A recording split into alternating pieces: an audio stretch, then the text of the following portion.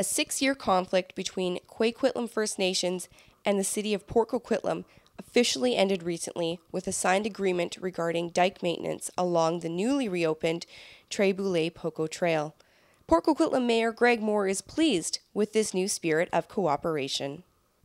So we're here today to talk about how two communities, the Kwikwetlem First Nation and Port Coquitlam, are coming together um, to bring our communities together, to open up the discussions and talk about how this trail system that we both share is open again for everyone to use.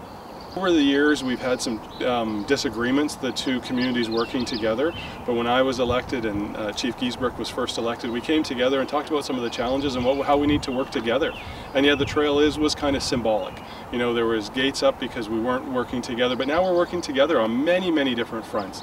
And so the, we've got a multi-year agreement to do the dike maintenance. The gates are open so everybody can use uh, the trail system and learn more about each of our communities. Um, we're going to be putting picnic tables up and uh, signage so people can learn more about what's going on here and around our communities.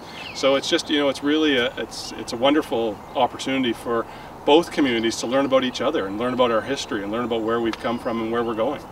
Chief Giesbrecht is also encouraged by this new spirit of cooperation.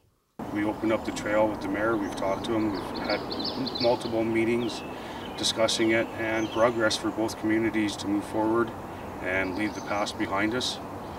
Mayor Moore was in the office about six months before I came into office, as well as council. It's a whole new change for ourselves. And we sat down at the table and had a few meetings and started talking and we just hit it off and we wanted to progress for our communities to move forward. I'm sure it's not going to always go either one of our ways, but as long as we deal with the issues at hand and come to happy medium so it's a win-win. We at Tri Cities Community Television hope that the reopening of this trail is a sign of renewed cooperation for the future.